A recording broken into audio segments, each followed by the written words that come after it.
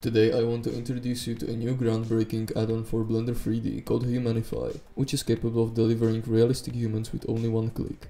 But before we actually dive into the key features, I just want to shout out to Emeblender, who is the developer behind this add-on and who gave me the access to it, so I could try it and make my own picture of its capabilities. We all know how it's difficult to create a realistic human in 3D, so let's take a closer look at what this add-on offers. The Humanify add-on contains a library of premium skin material presets that are hyper-realistic and procedurally adjustable. The materials are based on image textures that are high quality with a resolution that goes up to 8K, so the details will be still visible even during close-up renders. This add-on is built on Daz 3D Genesis 9 characters, meaning if you use this collection for this add-on, you don't have to put an extra time and effort into making seams and unwrapping the mesh, because all the 3D models are already unwrapped and optimized for immediate use.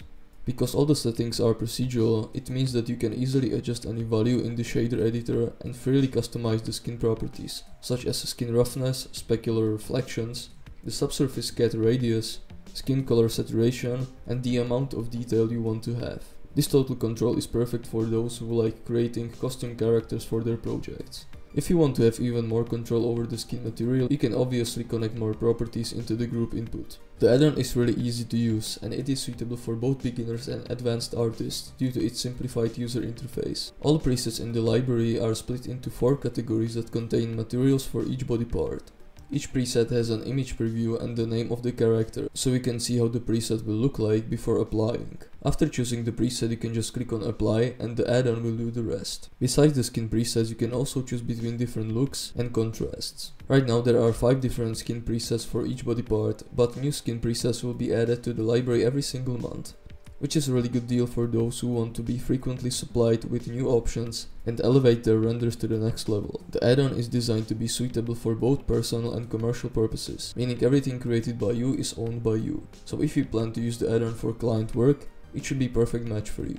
Now if you want to use your own 3D models, you might need to align the UV maps with the texture first, which will take you a little bit more time, but you can use tools such as proportional editing to match the proportions faster and get similar results. Right now the add-on is compatible with Blender versions from 3.0 to 4.1, but the developers will continue to work on its compatibility with future versions of Blender as well. After installing the add-on as a zip file, you can locate the add-on in the side panel, which can be accessed if you press N on your keyboard.